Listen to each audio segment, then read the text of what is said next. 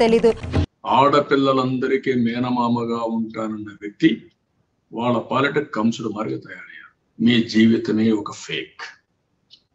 అన్ని ఫేక్ చట్టాలు. దిశ. చట్టమే రాల. ఆ చట్టం రాని చట్టానికి మీరు ఎంత గొప్పగా చెప్పి దిశ పోలీస్ స్టేషన్ ఓపెన్ చేశారు. దిశ మోటార్ వెహికల్ పెట్టారు.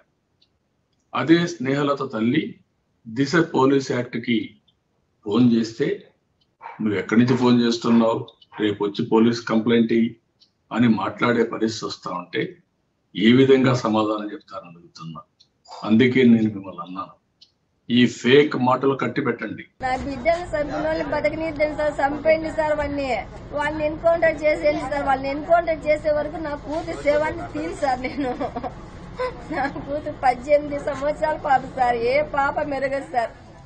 National hockey player sir నాకు ఢిల్లీ వరకు ఆడేసి వచ్చింది సార్. అంత మంచి భవిష్యత్తు ఉంది సార్ ఆ పిల్లకి.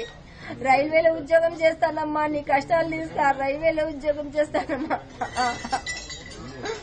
స్నేహలత దారుణ హత్య రాష్ట్రంలో ప్రతి కుటుంబాన్ని కూడా కదిలించింది ఇంత దారుణంగా హత్య చేసి బ్యాంకు ఉద్యోగానికి వెళ్ళొచ్చినటువంటి పాప ఇంటికి వస్తుంది అనుకుంటే ఒక దారుణమైనటువంటి పరిస్థితుల్లో మరణానికి గురి కావటం అనేటటువంటిది ఇది అందరినీ కూడా కదిలించినటువంటి ఘటన.